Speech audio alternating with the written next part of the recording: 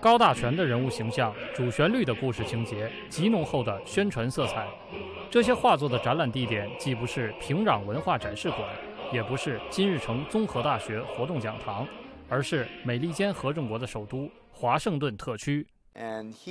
美籍韩裔艺术家、美国乔治城大学艺术学教授文凡刚，在美国美利坚大学卡岑艺术中心策划了这场名为《朝鲜当代艺术》。社会主义现实主义的演进的画展，首次将二十三幅朝鲜艺术家的画作带到美国观众面前。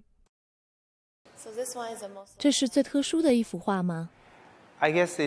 我觉得从技巧和内容层面上来说，这是十分具有表现力的一幅画作。The scale and the content it has. This is especially marvelous because 这幅画具有大理石的质感。你看这里有很强的明暗对比。All the dark side and the light side here. This one is a pretty uh, melodramatic. 这幅画很有戏剧效果，很像一个电影的场景。在上世纪七十年代，有很多这样有质感的作品，当时很流行。这个是向人民进行宣教的好方法。Kind of uh, quality of work. 十二月十日，平安北道铁山郡。朝鲜长期孤立于国际社会，每年只允许少量外籍人士进出。在半岛局势持续动荡、美朝关系处于冰点的局面下，这批画作如何实现了这样的旅程？我当时在思考我的下一个作品选题，灵感应该来源于哪里？我当时思考了各种可能性。既然我出生于朝鲜半岛。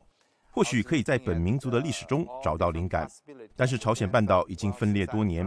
而我希望获得最完整的动力泉源，因此我决定去朝鲜。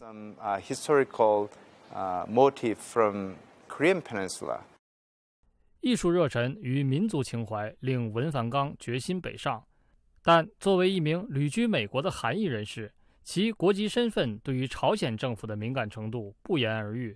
他的学术之旅注定不可能像访问其他国家一样轻松。My case, I'm American citizen.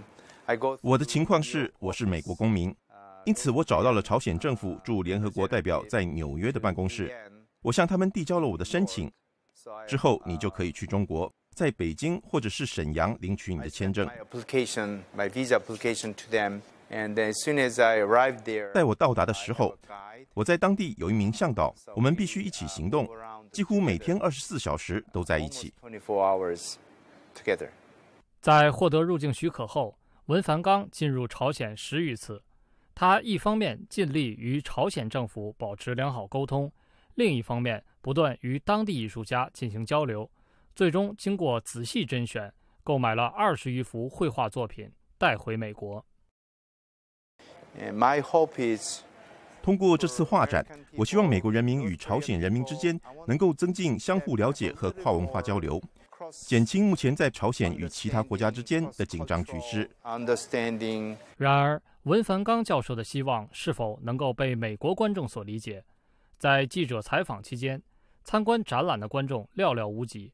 而在互联网关于本次展览的宣传页面上，一些网友也纷纷写下自己的意见。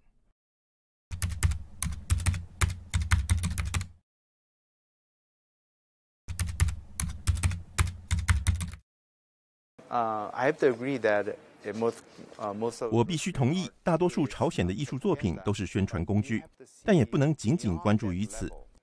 在朝鲜的艺术作品中有很强的现实主义元素。